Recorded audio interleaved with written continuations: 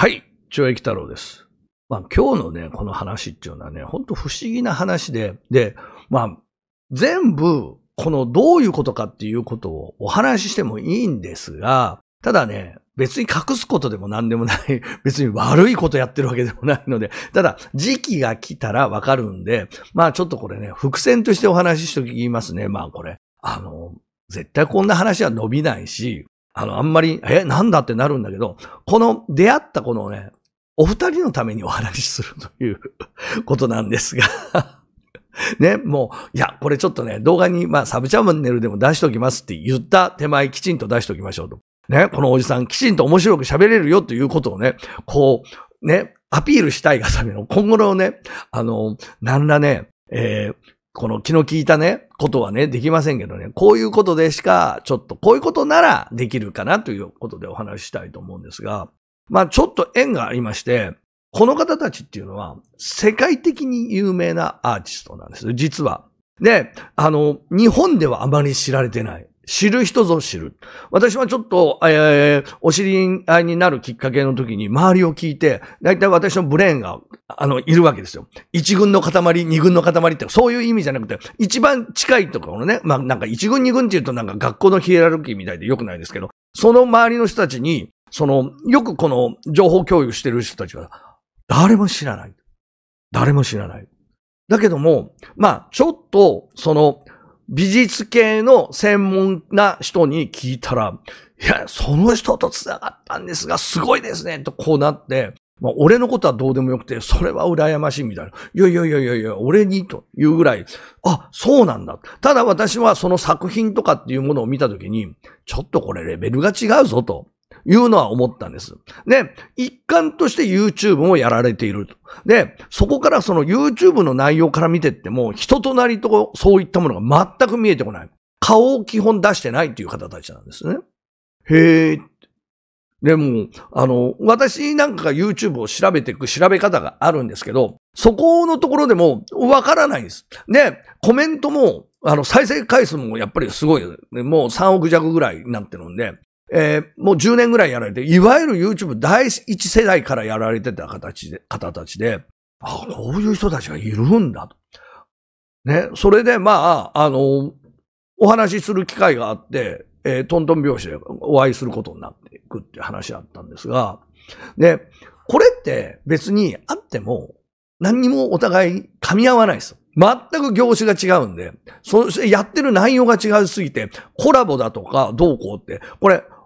何にもこれ、もうここまでやってるから、いや、無理くりコラボすりゃいいですよ。でもそれってお互いにとって何にも、あの、不安の人たちにとっては何にもならないです。ただ、時期とタイミングが来たら、えー、宣伝したり告知したりっていう協力体制はできるんだけど、そんなことするのは今ではないしっていうことで、こういうなんか意味のない相方ってあんまりないんだけど、で、利害関係も全く合わないし、競争するとこでもないですし、で、まあ、あの、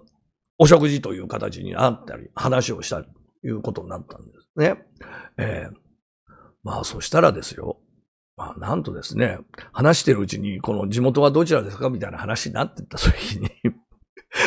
あの、年代が全然違うんですよ。私と親子ぐらい差があるんですけど、そうそう、あれ？みたいな話になって、私の本当に近い身内のところの、あの、親戚みたいな子供と同級生みたいな。で、私も、あ、そうなんだって言って、多分もう間違いないですよ、みたいな話になって、で、自分が、あの、一回帰ってですね、この聞い聞いたら、その自分の近いところ。いや、そしたら知ってるよと、小学生ぐらいの時から知ってるよ、みたいな話になって。なんだそれ、つって。ね。あの、またこう、喋る機会があって、まあ、よかったですよ、本当に。お金借りそうになって借りてたら偉い恥かきましたって言って、まあ、借りる気はないけど、そうやってね、もうそこでなんか変なお願いして、ね、いや、こうしてください。ね、こういう風にしてください。あの、こういう風にして、もう、もうめちゃくちゃ恥かくとこだったんでって言ったら大笑いしてましたけど。まあそんなことがあって、ああ、そういう意外と近い。だから、同じ、まあ、ぜ、あってはないんだけど、同じ時間軸で時系列で、自分のすごく近い人と、そういう触れ合いがあって、そういう形になって、あの、今も私も、その、そんなにがっつり合ってるわけじゃなくて、よく知ってるっていう人と、あの、同級生だ。なんだそれ、そういうことがあるんだねって。多分、その、私がよく知っている、まあ、あの、子たちも、この同級生の人が、そんなすごい人って分かってんのかっていうことなんですよ。分かってないんじゃないかな。近すぎて。うん。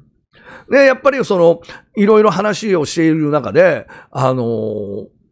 海外との YouTube やってるわけだから、このファンの人たちの、この反応の違いだとか、え何かあった時のこの対処の仕方とかっていうのが非常に難しいんだな。要は、この A の国ではいいことが B の国では悪くなるっていうことだったり、A の国では受けることが B の国では受けないとかっていうことがあるんで、そりゃそうだよねっていうのは、あの、本当に、その、そこは日本で考える私たちでも例えば、あの、山口組に忖度すれば、あの、住吉会に悪いよなって、まあそんなレベルと一緒にしちゃいけませんよ。でも、それのもう最たるものになるわけですよね、結局。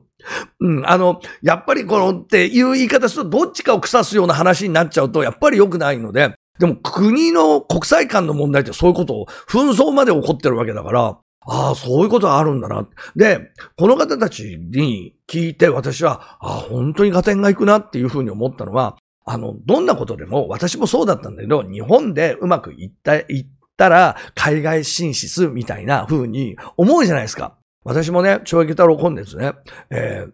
英訳したり、英語でとかっていうことを何度か試みたことがあるんですよ、実は。私ができないんで、周りの人たちでっていう話はなったんだけど、これなかなか簡単じゃないですよ、実は。本当に。単純に訳せばいいっていうものを訳すと、訳した人の話になっちゃうんで、私のこのテイストを活かしたまま訳したり、あの、英語に作るってなかなか難しくて、ここがまた、その、英語が喋れるからできるでしょって全く違うんですよね。うん。で、訳すことができても、この、これを喋ったり、ちゃんと翻訳みたいなことするの、また全然違うスキルがいるらしいから簡単ではないと。そりゃそうか。それは無理、難しいんだな。で、この方たちは、その成功している一つとしては、最初から世界戦略だったんです。日本でどうこうしてじゃなくて、最初から世界に向けてっていうアプローチの仕方で作り方。だから本当にね、あの、私も全く、あの、あれなんですよ。あの、もう全然何にもわからないでやったんで、あの、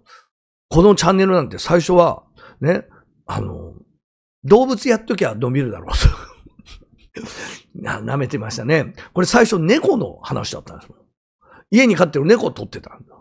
ね。そしたら動物やってりゃ、あの、みやみや泣いて可愛いから伸びるだろうと。で、勝手に適当に喋っていて、最初英語で、英文で訳してやってたりしたんですよ。これ最初の方見てください。くったらない。本当に、あの、なんだかよくわからない。でも結構みんな苦労してやったんですよ。私の思いつきで。うん。まあ、ちっとも伸びながら、もうしょうがねえ。俺がもう出るしかねえです。で、最初のつ、ひ、とっかかりがそれだから、やっぱり伸びないチャンネルになっちゃった。ただ、その代わり、どんなことをやっても広告がつくんですよ。実は。懲役太郎コンテンツでダメでも、このサブチャンネルだとほぼ広告がつくっていうことですね。なるべく編集もしない、え、形もいじらないっていうやり方をしてるっていう、それで貫いてやってるんですけど、だからやっぱり、えー、メインチャンネルと一桁違うわけですよ。伸び方が。うん。やっぱりここを見ると、俺太郎の力量っていうか、その、ちゃんとした、あの、カットして企画入れてサムネイルと、あの、タイトルをうまくつけるとそれだけ違うんだなっていうことがわかるということなんですが。で、まあ、こういうような形で始めたものを、なんですよ。で、まあ私が動物が、まあ最近猫を映してって言うけど、まあ動物チャンネルやってる人たちに文句言ってるわけじゃないんですけど、私はこれ自分が気が向いたまま気が向いた時にスイッチを押して、録画して、配信するっていうスタイルなんですけど、相手が動物だとそうはいきませんよね。こっちの都合に合わせるとすごいかわいそうなことになるんですよ。私のところの猫っていうのは、もう餌も水も出しっぱなし、自分で考えて食べるようにして、ずっとそうやって教育してきたので、あ、1日は2日空けたところで大丈夫なんですね。全部食べきらない。っ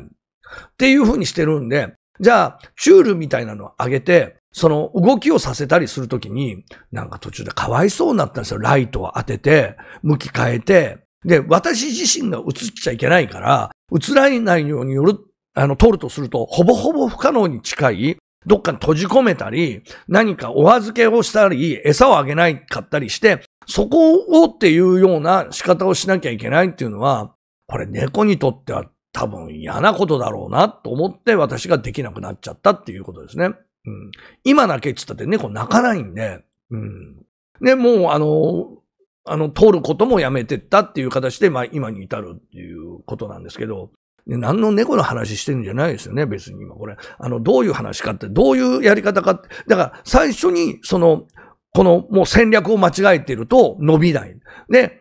この方たちみたいに最初から世界配信っていうことをやってればそうなる。うん。なるほどなと。私の倍やってるんで、10年やってるってことはすごいな。うん。まあ、それで年齢も違うし、生き方も違うし、考え方も違うんだけど、まあ、そりゃ話がね、尽きない。ずっと私が喋ってる。私が喋ってる。ね。ええ、まあ、まだ、10、80%ぐらい私がずっと喋る。ね、仕方がないですね、それも。当に。まあそんなことがあって。もうこれからもね、信仰が深まりね、いろんなことがね、刺激をし合ってね、あの、私もね、一つ本当にね、いいヒントをいただいたんで、新しいジャンルっていうか、やっぱりプラットフォームをいくつか用意してそこでっていうことをね、考えて。で、それが、なんか、なんちゅうかな、なんか普通の人に言われても、ああ、そうかと思う。ご本人たちがやってきちんとできてる人たちが、こういう風なところはやられた方がいいですよって言うと、うん、それは信憑性がありますし、あ、なるほどな。そうなりますよね。これは本当にね、あの、今までとは違うね、新しいね、あの、出会いということでね、すごくもうぼやかして何を言ってるかわからないけど、よくこれね、12分もね、10分以上も喋るな。ね、いうことでね、あの、よくこれを話したと自分で自分を褒めてあげたいというお話です。以上です。はい。